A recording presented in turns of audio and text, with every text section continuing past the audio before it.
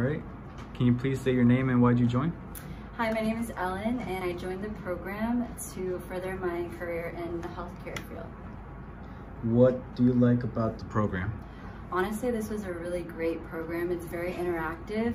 The way that you can um, practically use the different tools and the information that you learn in class, and you have a good group of people, and they work with your schedule as well. And what would you tell someone who's considering one of our classes?